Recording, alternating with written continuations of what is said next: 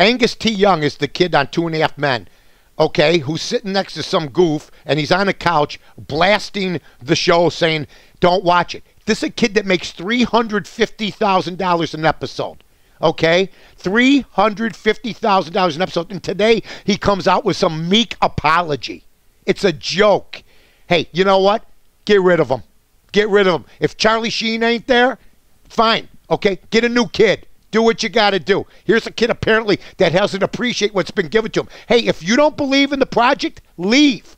But don't stay there and collect the check and then blast it. Just saying. Brought to you by Tony's Italian Deli and Subs.